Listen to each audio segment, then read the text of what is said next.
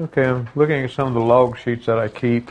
Henry Bryan keeps his blood sugars under tight control by carefully recording any ups and downs. So that when I went back in to see my doctor, we could look at what was transpiring and try to figure out ways to adapt my treatment plan to make things better.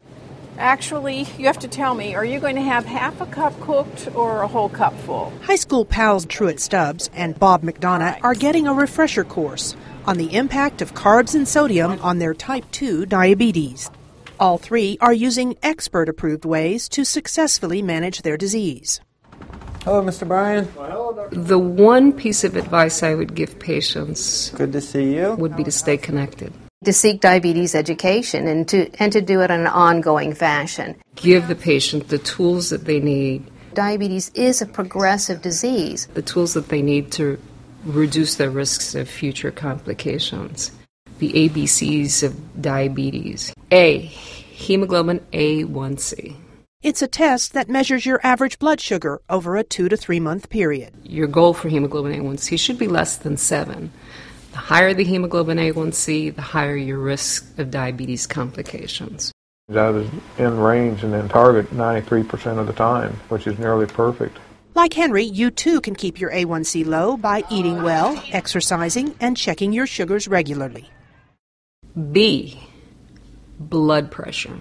Your blood pressure should be 130 over 80 or less. Having diabetes puts you at a twofold increase of having a heart attack or a stroke compared to someone who doesn't have it. It's only two grams of carb, but it has 1,320 milligrams of sodium in one tablespoon.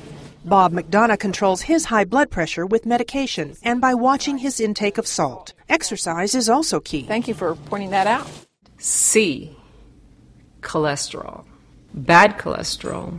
Uh, your target should really be less than 100. In some individuals, it should be less than 70. Why did you pick the turkey as opposed to ham or beef or something?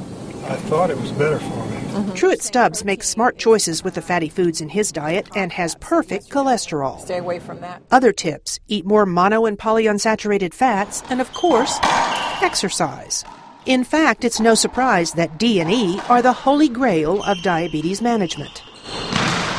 If you have type 2 diabetes and you do lose a significant amount of weight, your diabetes might very well come under control with no other intervention besides healthy eating. Just doing, you know, some kind of moderate exercise, 30 minutes a day, m- makes a world of difference in diabetes and its management.